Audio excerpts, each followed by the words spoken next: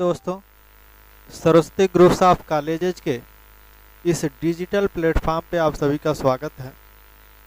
शिक्षा शास्त्र विषय के साथ बीए प्रथम और प्रथम सेमेस्टर से संबंधित जो आप लोगों का चैप्टर है, शिक्षा की अवधारणा, इससे संबंधित आज हम लोग इस वीडियो में अध्ययन करेंगे। ठीक है ना?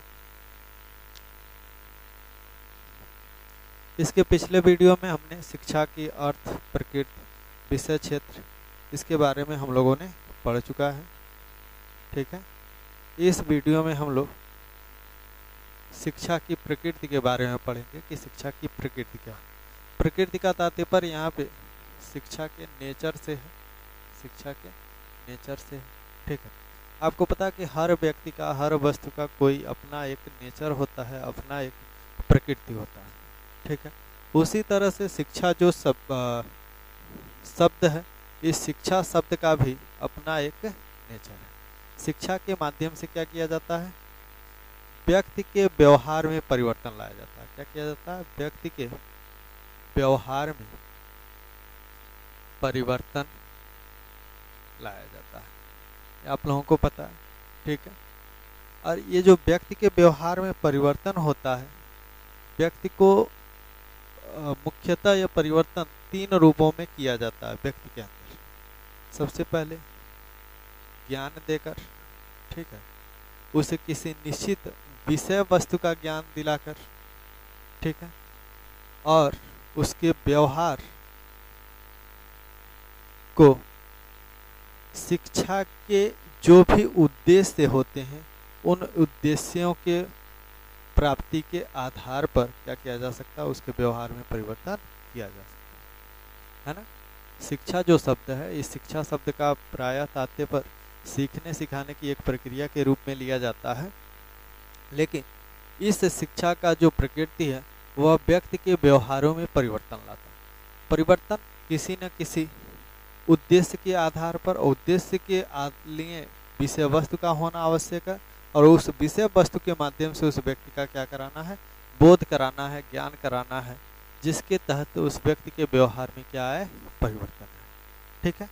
यही हम शिक्षा की प्रकृति के अंतर्गत जानते हैं, समझते हैं। इस आधार पर शिक्षा को कई प्रक्रिया के रूप में भी जाना गया है। तो इस तरह से हम कह सकते हैं कि शिक्षा बालक के व्यवहार में परिवर्तन लाने वाली एक क्या है? प्रक्रिया है। व्यक्ति को नई नई तथ्यों का ज्ञान कराने वाली एक प्रक्रिया है। व्यक्ति को नए नए विषयों के बोध कराने के लिए एक तथ्य है, जिन आधार पर व्यक्ति को नई नई तथ्यों की जानकारी प्राप्त होती है। इस तरह से शिक्षा के तहत, शिक्षा के द्वारा व्यक्ति का, बालक का सर्वांगीण विकास किया जाता है। आसपास पड़ोस या उसके जीवन शैली के मार्गों को ध्यान में रखते हुए उसके व्यवहार में क्या किया जाता है? परिवर्तन लाया जाता है। यही किसके अंतर्गत जाना जाता है? तो शिक्षा के, प्रकृति के अंतर्गत जाना जाता है। है ना? जैसा कि आप लोगों को पता है कि शिक्षा क्या है? एक सीखने सिखाने वाली प्रक्रिया है। तो सीखने सिखाने वाली प्रक्रिया किसको सिखाया जाएगा? तो बालक को सिखाया जाएगा। किसको सिखाया जाएगा? बालक को या व्यक्ति को। तो व्यक्ति को क्या सिखाया जाएगा? समाज का ज्ञान कराया जाएगा। है ना? क्यों? क्योंकि व्यक्ति क्या है? जो व्यक्ति है या जो बालक है, वह बालक क्या है? बालक एक सामाजिक प्राणी है। कैसा प्राणी है? सामाजिक प्राणी। तो सामाजिक प्राणी होने के नाते बालक को क्या करना है? सामाजिक तथ्यों का बोध कराना है। क्या करना है? सामाजिक तथ्यों का बोध कराना है। ठीक है? जब सामाजिक तथ्यों का बोध कराया जाएगा तो ज़ाहिर सी बात है कि उस बालक के व्यवहार में क्या होंगे? परिवर्तन दिखने को मिलेंगे। यही परिवर्तन और इसी तथ्यों के आधार पर व्यक्ति के अंदर नई नई तथ्यों का समावेश किया जाता है, जिसके माध्यम से व्यक्ति एक सामाजिक प्राणी के रूप में उभरता है। ठीक है, अब हम लोग आगे बढ़ते हैं। अगला हम लोगों का टॉपिक है, शिक्षा का विषय क्षेत्र। क्या है? शिक्षा का विषय क्षेत्र। शिक्षा के विषय क्षेत्र के अंतर्गत सबसे पहला मतलब शिक्षा का कौन कौन सा क्षेत्र है किन किन क्षेत्रों में शिक्षा का प्रयोग किया जाता है या शिक्षा के माध्यम से कौन कौन से क्षेत्र प्रभावित है? ठीक है या किन किन क्षेत्रों पे शिक्षा अपना प्रभाव डालता है? तो ये बहुत से ऐसे क्षेत्र हैं जो शिक्षा के आ, शिक्षा इनको आ, क्या करता है? प्रभावित करता है या शिक्षा इनको इनके ऊपर अपना प्रभाव डालता है। सबसे पहले शिक्षा का इतिहास। यह भी शिक्षा के एक क्षेत्र के अंतर्गत आता है। ठीक है और इसके माध्यम से हम शिक्षा का विकास कैसे हुआ? ठीक है? शिक्षा का विकास कैसे हुआ? प्राचीन काल में शिक्षा कैसी थी? या प्राचीन काल, जिसे हम वैदिक बौद्ध काल के रूप में जानते हैं, उस काल में शिक्षा कैसी थी? या हम कह सकते हैं कि प्राचीन काल में विद्यालयों का विकास कैसे हुआ? विद्यालयों की उदय कैसे हुई? आधुनिक काल में शिक्षा किन रूपों में दिया जा रहा है? ठीक है? या हम कह सकते हैं कि प्राचीन समय में शिक्षा का उद्देश्य क्या था? यह सभी चीज़ें हम किसके अंतर्गत पढ़ते हैं? तो शिक्षा के इतिहास के अंतर्गत पढ़ते हैं। यानी कि वर्तमान से पूर्व, वर्तमान से पहले, ठीक है? जो भी शिक्षा के संदर्भ में तथ्य अवगत कराए गए हैं, उन सब का जानकारी हम किस विषय के अंतर्गत, किस क्षेत्र के अंतर्गत प्राप्त करते हैं तो शिक्षा के इतिहास के अंतर्गत प्राप्त करते हैं। ठीक है? उसके बाद से दूसरा है शिक्षा दर्शन। दूसरा इसका क्षेत्र क्या है? शिक्षा दर्शन। अब शिक्षा दर्शन के माध्यम से क्या होता है? आपको पता है कि दर्शन क्या है? दर्शन क्या है? दर्शन का तात्पर्य दर्शन के आधार पर व्यक्ति क्या करता है? अपने उद्देश्यों का निर्धारण करता है। क्या करता है? अपने उद्देश्यों का निर्धारण करता है। यानी कि लक्ष्य निर्धारित करने की एक प्रक्रिया या एक तथ्य दर्शन है।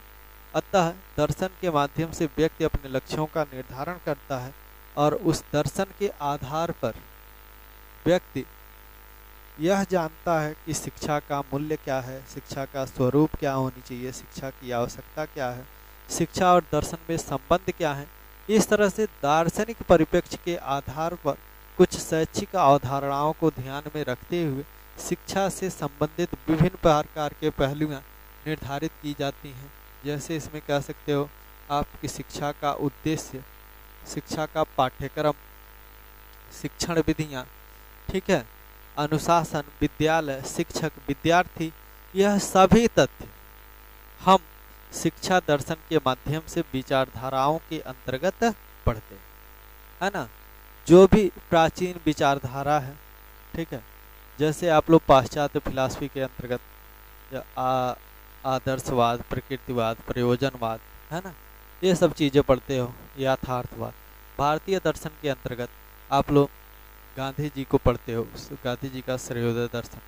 स्वामी विवेकानंद जी को पढ़ते हो, रविन्द्रनाथ टैगोर जी को पढ़ते हो, अरविंद घोष जी को पढ़ते हो, है ना? इन्होंने, सभी लोगों ने शिक्षा से संबंधित अपने क्या विचार व्यक्त किए है? ना? इन्होंने शिक्षा से संबंधित कौन कौन से उद्देश्य निर्धारित किए हैं। व्यक्ति का क्या उद्देश्य होना चाहिए? व्यक्ति की कैसी विचारधारा हो, हो, होनी चाहिए? इन सब के संदर्भ में शिक्षा दर्शन के अंतर्गत शिक्षा के क्षेत्र के रूप में पढ़ा जाता है। ठीक है? उसके बाद से अगला है। शिक्षा मनोविज्ञान। क्या है? शिक्षा मनोविज्ञान। शिक्षा आप लोग जानते हो सीखने सिखाने की एक प्रक्रिया है। मनोविज्ञान क्या है? व्यक्ति के या बालक के व्यवहारों का अध्ययन करता है, कैसा विज्ञान है? तो बालक के व्यवहारों का अध्ययन करने वाला एक विज्ञान। अतः शिक्षा मनोविज्ञान के माध्यम से बालक कब, कैसे, क्या, किन रूपों में सीखेगा, इन सभी चीज़ों का निर्धारण। अतः व्यक्ति के व्यवहारों के अनुरूप, व्यक्ति की अवस्थाओं के अनुरूप शिक्षा का स्वरूप क्या होना चाहिए, ये सभी कौन तय करता है? तो शिक्षा मनोविज्ञान यानी कि शिक्षा मनोविज्ञान के माध्यम से बालक की रुचि, क्षमता, योग्यता को ध्यान में रखते हुए क्या किया जाता है? बालक का मार्गदर्शन किया जाता है। यह भी शिक्षा का क्या है? एक क्षेत्र है या शिक्षा की एक शाखा के रूप में जानी जाती है। है ना? उसके बाद से अगला है शैक्षिक प्रशासन। शैक्षिक प्रशासन का तात्पर्य किससे है? कि शिक्षा संबंधी जो भी प्रबंधन कार्य हैं शिक्षा संबंधी जो भी प्रबंधन या मैनेजमेंट से संबंधित कार्य हैं, यह सभी किसके अंतर्गत आते हैं? सच प्रशासन के अंतर्गत आते हैं।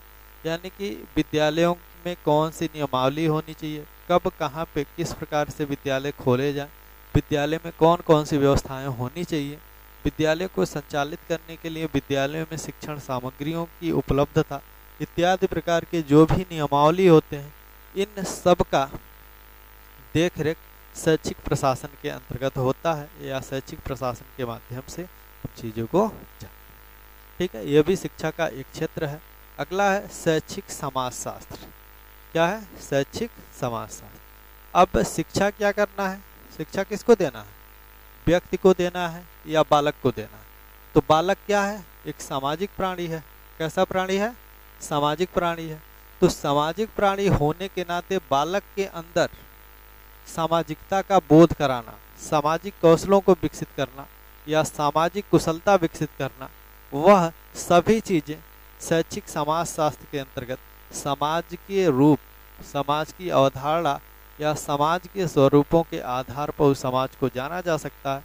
उस समाज में लोगों को शिक्षा के माध्यम से क्या किया जाता है? शिक्षित किया जा सकता है ताकि वह उनका सामाजिक वातावरण क्या हो, सफल हो। है ना? इस तरह से अगला जो पॉइंट है, वह है शैक्षिक समस्याएँ।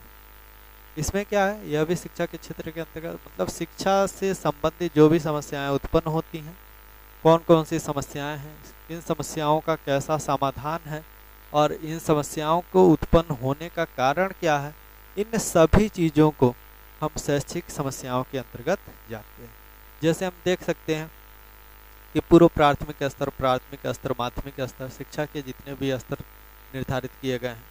जो भी प्रौढ़ावस्था के व्यक्ति हैं, जो भी शिक्षक हैं, जो भी अभिभावक हैं, इनका शिक्षा में इंटरेस्ट क्यों नहीं है? कौन कौन से कारण हैं? कौन कौन सी समस्या है? इन सभी समस्याओं का हम ज्ञान, शिक्षा के शैक्षिक समस्याएँ क्षेत्र के अंतर्गत अध्ययन करते हैं। ठीक है ना? अगला है तुलनात्मक शिक्षा। तुलनात्मक शिक्षा का तात्पर्य, कई देशों की शिक्षा व्यवस्था जो होती है, उन सभी व्यवस्थाओं को ध्यान में रखते हुए प्रत्येक देश से तुलनात्मक अध्ययन किया जा सकता है और जिस देश की शिक्षा व्यवस्था उस देश के जिन पहलुओं को प्रभावित करती है, उनसे जो भी उनकी विशेषताएँ हैं, जो हमारे देश में लागू हो सकते हैं, जिनका हमारे देश में उपयोग है, या जिनका प्रभाव हमारे देश पे पड़ सकता है, उसको हम अपने अंदर धारण कर सकते हैं, अन्य चीज़ों को हम क्या कर सकते हैं? निकाल सकते हैं। अतः हम कह सकते हैं कि कई देशों की शिक्षा व्यवस्था का अध्ययन हम तुलनात्मक शिक्षा से करते हैं तथा जिस देश की शिक्षा व्यवस्था उस देश को जितना भी प्रभावित करती है, इस आधार पर हम तुलनात्मक रूप से अपने देश को भी इस के अंतर्गत रखते हैं और हम क्या करते हैं, अपने देश की शिक्षा व्यवस्था में परिवर्तन लाते हैं। यह भी शिक्षा के क्षेत्र के अंतर्गत आता है। अगला है शिक्षण विधियाँ। शिक्षण विधियाँ, ये भी शिक्षा का एक कह सकते हैं कि मूलभूत क्षेत्र है।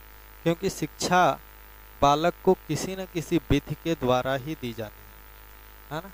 बालक को शिक्षा किसी न किसी विधि के रूप में ही दी जाएगी। जब तक विधि नहीं होगी, तब तक बालक को शिक्षा नहीं दी जा सकती। तो विधियों का भी हम शिक्षा के क्षेत्रों के रूप में अध्ययन करते हैं। जैसे विधियों में बहुत से बीज सबसे प्राचीनतम जो विधि है, आप कह सकते हो कि व्याख्यान विधि व्याख्यान विधि, आगमन निगमन विधि आगमन निगमन विधि, प्रश्नोत्तर विधि, मौखिक विधि, श्रवण मनन विधि, ठीक है? इस तरह से ये प्राचीन विधियाँ हैं। नवीन विधियाँ, जैसे किंडर गार्डन, फ्रोवेल, ठीक है? खेल कूद विधि ह्यूमिरिटिक्स डाल्टन, ठीक है? मांटेसरी, यह सभी क्या है? नई नई शिक्षण विधियाँ हैं। मनोवैज्ञानिकों के आधार पर इन शिक्षण विधियों का विस्तार किया गया, विकास किया गया। अतः इन विधियों के अलावा भी विभिन्न प्रकार की शिक्षण विधियाँ हैं जिन शिक्षण विधियों के माध्यम से बालकों को शिक्षित किया जा सकता है। इस तरह से यह शिक्षा के क्षेत्र के अंतर्गत विभिन्न पहलुओं पर चर्चा किया गया। ठीक है? जो भी आप लोगों को समझ में आया होगा उसे आ, कमेंट करिएगा। जो नहीं समझ में आया होगा उसे भी कमेंट करिएगा। ठीक है? मिलते हैं हम लोग अगले क्लास में। तब तक के लिए आप सभी को धन्यवाद।